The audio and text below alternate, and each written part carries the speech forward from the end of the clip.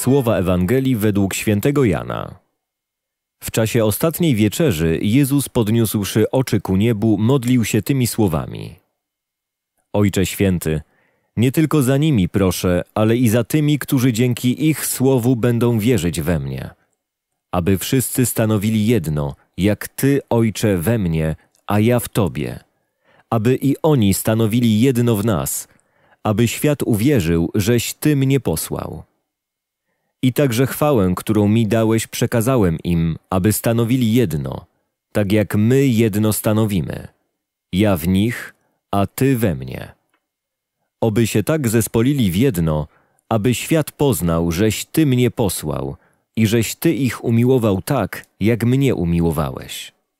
Ojcze, chcę, aby także ci, których mi dałeś, byli ze mną tam, gdzie ja jestem – aby widzieli chwałę moją, którą mi dałeś, bo umiłowałeś mnie przed założeniem świata.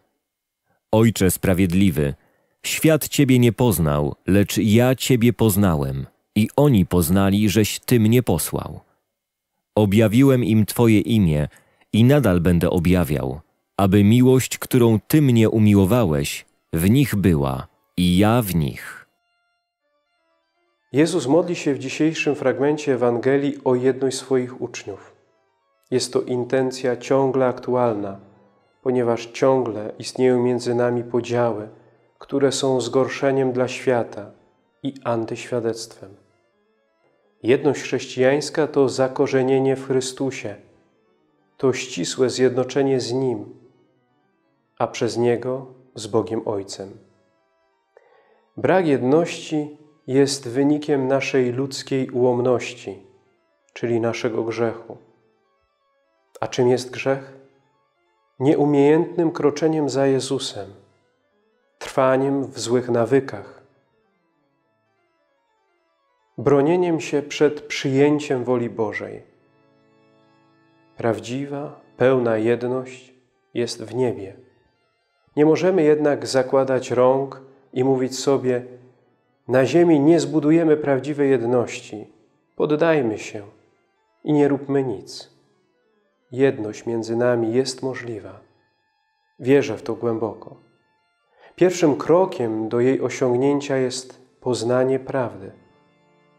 Poznanie prawdy i jej przyjęcie zbliża ludzi, burzy podziały i jest prostą, pewną i najłatwiejszą drogą do jedności. Co trzeba zrobić?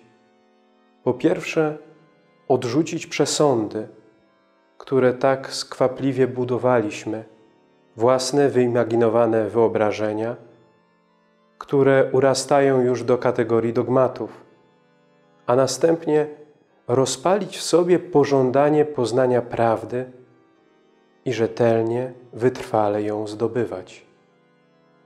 Kto pozna prawdę, ten ją pokocha. Kto pozna prawdę, ten pozna samego Boga.